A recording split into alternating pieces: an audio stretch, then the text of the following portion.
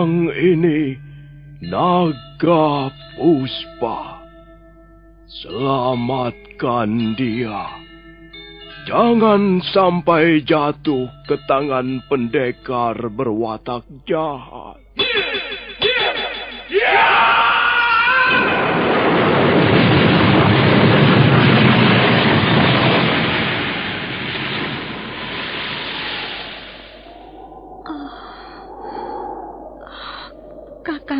Kamandanu. Kau... Kau masih juga tidak percaya bahwa aku... Aku mencintaimu. Mesin. Maafkan aku, Mesin. Mesin. Mesin!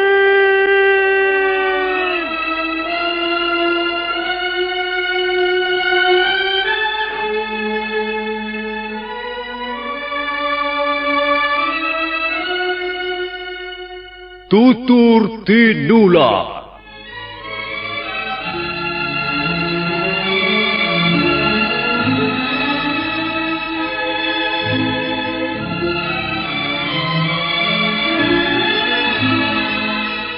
Sebuah sandiwara radio serial, produksi Sanggar Cerita dan teater Sanggar Prativi.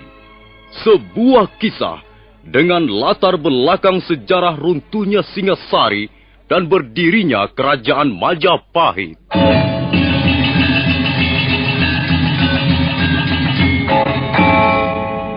Sandiwara ini didukung oleh pemain-pemain radio yang sudah ternama. Ferry Fadli, Ivone Rose, dan Eli Ermawati.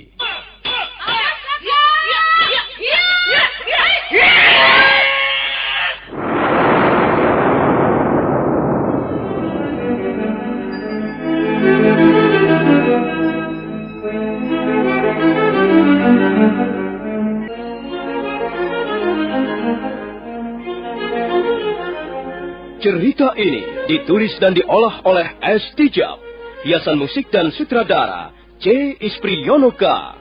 Kali ini mempersembahkan episode ke-10 dengan judul Pemberontakan Rangga Lawe.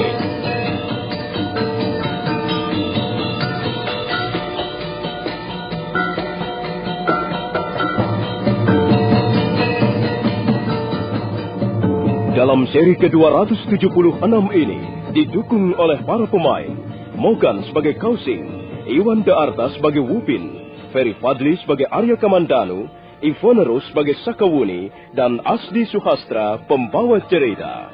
Selamat menikmati.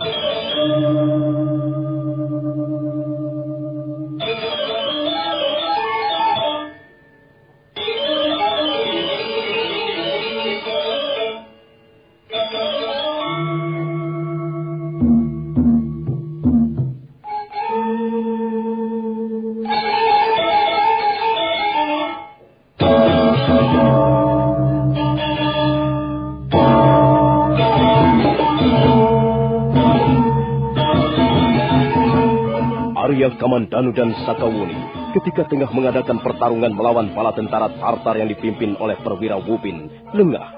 Mereka berdua roboh terkena serangan jarum-jarum beracun yang dilemparkan perwira Wupin. Perwira Wupin segera memerintahkan agar mereka berdua segera dibawa naik ke atas perahu. Arya Kamandanu dan Sakawuni masih dalam keadaan tidak sadarkan diri. Apakah jarum-jarum beracun yang kau lemparkan tidak berbahaya perwira Wupin? Tidak, Tuan Panglima. Jarum-jarum rahasia beracun itu tidak membunuh. Sebentar lagi mereka akan sadarkan diri. Mereka adalah pendekar-pendekar yang tangguh dan berani. Aku sama sekali tidak menduga bahwa di negeri yang bernama Tanah Jawa ini banyak sekali pendekar-pendekar tangguh dan berani. Mereka ini adalah musuh-musuh kita, Tuan Panglima. Hmm. Mengapa mereka tidak kita binasakan saja? Ada yang ingin kubicarakan dengan orang yang bernama Arya Kamandanu ini. Kau tidak perlu ikut campur dalam urusanku, Perwira Wupin. Oh, uh, maafkan saya, Tuan Panglima. Apa yang akan kubicarakan dengan orang ini sama sekali tidak ada sangkut pautnya dengan perang yang baru saja terjadi. kami akan membicarakan soal yang lain. Lihat Tuan Panglima, Hmm. nampaknya orang yang bernama Arya Kamandanu itu sudah sadarkan dirinya kembali.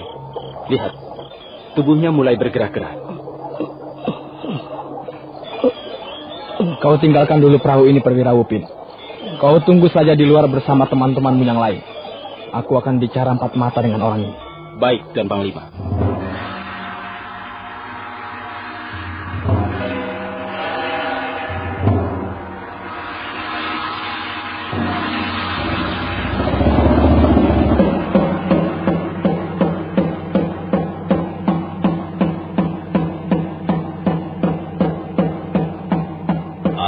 Arya Kamandanu merasakan lengannya seperti kesemutan.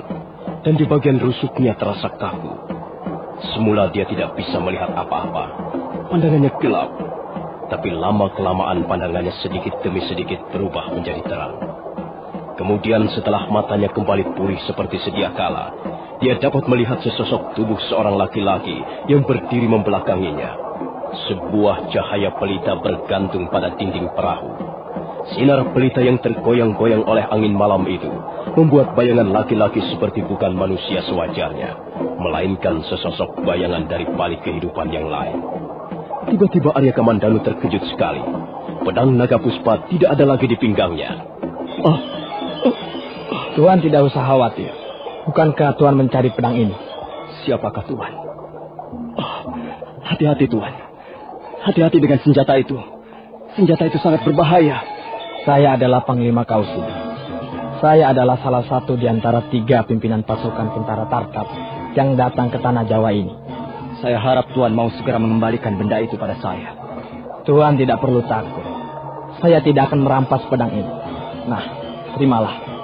Saya kembalikan pedang Tuan. Terima kasih Tuan Panglima. Saya hanya ingin melihat senjata yang ampuh. Yang ternyata sekarang berada di tangan Tuan. Nampaknya Tuan Panglima sangat menaruh perhatian terhadap pedang ini. Kalau tidak salah, pedang ini bernama Naga Puspa. Dari mana Tuan Panglima tahu nama pedang ini?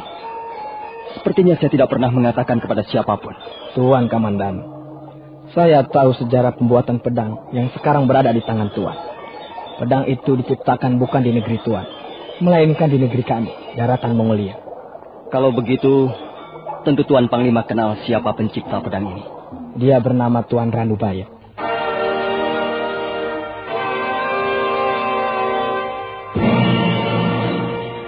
Guru. Iya. Memang benar. Pedang naga puspa ini adalah ciptaan guru saya, Tuan Panglima. Jadi Tuan Ranubaya adalah guru Tuan. Benar, Tuan Panglima. Paman Ranubaya adalah guru pribadi saya. Saya banyak belajar tentang bermacam-macam hal dari beliau. Tapi nasib telah memisahkan saya dengan beliau. Ah, Barangkali Tuan Panglima dapat memberikan sedikit keterangan mengenai keadaan beliau sekarang ini. Saya menyesal sekali Tuan Komandan. Saya sudah berusaha, tapi saya telah gagal. Saya tidak bisa menyelamatkan jiwa Tuan Ranubaya dari Algujo.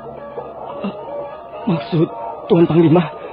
Setelah membuat pedang naga puspa, Tuan Ranubaya berusaha melarikan diri dari istana dengan dibantu oleh dua orang pendekar bangsa kami.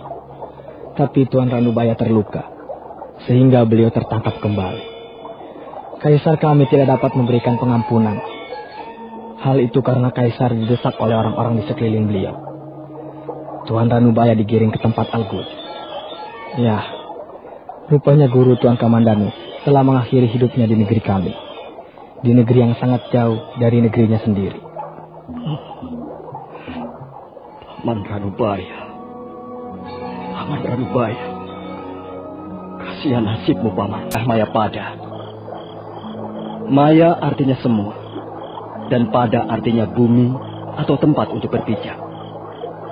Jadi sebenarnya kita hidup di tengah-tengah suatu dunia yang semu. Dunia yang sama sekali tidak mengandung kenyataan. Karena semua serba berubah dalam setiap saat. Tidak ada yang langgeng. Tidak ada yang mempunyai kekuatan keabadian. Paman Ranubaya tiba-tiba saja terbuang jauh ke negeri seberang dan wafat di sana.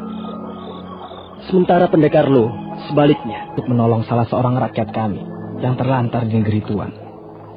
Tuan sungguh seorang pendekar yang berbudi luhur. Saya sangat mengagumi Tuan. Tuan Panglima jangan terlalu memuji-muji saya. Saya hanya melakukan apa yang saya bisa. Saya tidak memuji Tuan. Memang sesungguhnya lah, Tuan adalah seorang pendekar yang berbudi mulia. Panglima Kausing yang terbuka. Baiklah.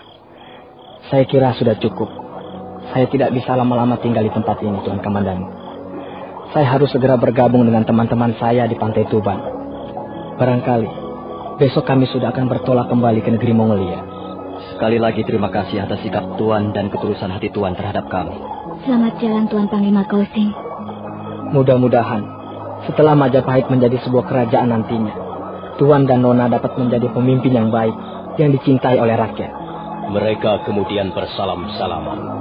Arya Kamandanu dan Sakawuni kemudian meloncat ke tepian sungai. Sementara Panglima Kausing menyuruh perwira Wupin mengumpulkan anak buahnya. Arya Kamandanu dan Sakawuni berdiri di pinggiran sungai, melihat perahu jung berwarna keemasan dan berhiaskan lambang kebudayaan bangsa Mongol itu bergerak perlahan-lahan meninggalkan tepian sungai. Panglima Kausing melampaikan tangannya. Arya Kamandanu dan Sakawuni membalas melampaikan tangannya dengan penuh rasa keharuan.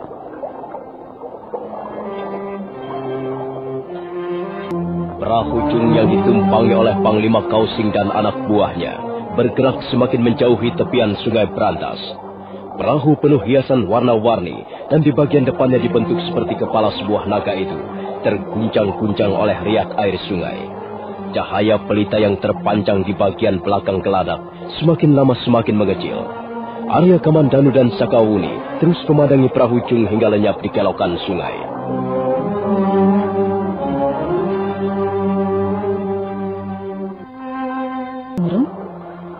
Entahlah Sakawuni. Baru pertama kali ini aku ikut berperang. Entahlah. Begitu perang ini sudah selesai, tiba-tiba hatiku menjadi sedih. Aku tidak tahu mengapa ribuan manusia saling membunuh seperti binatang buas di tengah hutan belantara. Aku pernah mendengar orang-orang tua berkata, para cerdik pandai memberikan nasihat agar supaya kita hidup saling mengasihi, saling tolong-menolong, saling bahu-membahu demi keselamatan umat manusia. Tapi mengapa tiba-tiba nasihat itu sama sekali tidak ada artinya? Begitu bencana perang terjadi. Aku tidak bisa melihat lagi sinar kasih sayang. Aku tidak bisa melihat lagi sinar kebijaksanaan di tengah medan peperangan. Ya, memang. Perang memisahkan hubungan batin manusia. Aku juga baru mengalaminya sekarang ini. Manusia yang tidak saling mengenal sebelumnya. Yang tidak pernah tahu secara persis duduk perkaranya. Saling membunuh tanpa ampun.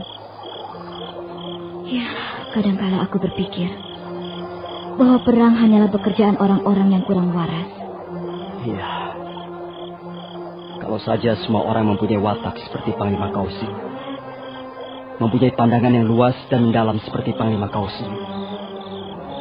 Kukira negara yang satu dan negara yang lain tidak perlu menyelesaikan pertikaian dengan perang. Tapi sudahlah. Itu bukan urusan kita, Sakawuni. Iya, Sekarang ini kita sudah dikukuhkan menjadi prajurit Majapahit. Kita tidak perlu berpikir terlalu jauh dan jelimet. Sekarang marilah kita kembali ke Istana Kediri. kita harus mencari kuda-kuda kita yang tertinggal di sekitar tempat ini, Kamadanu. Arya Kamandanu dan Sakawuni kemudian melompat ke dalam gelap. Tak lama kemudian mereka pun sudah mendapatkan kuda-kuda mereka yang berkeliaran di bawah pohon di tepian tebing-tebing sungai. Mereka segera melompat ke punggung-punggung kudanya masing-masing. Dan selanjutnya mereka berkuda meninggalkan tepian sungai Berantas.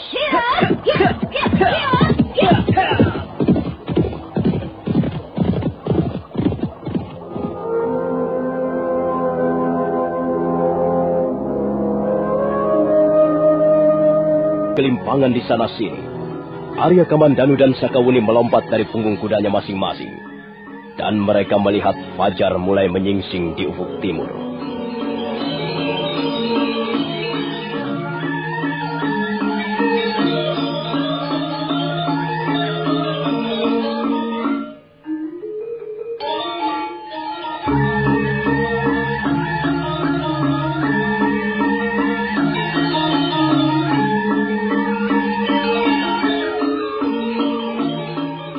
Nah, saudara pendengar, bagaimanakah kisah selanjutnya?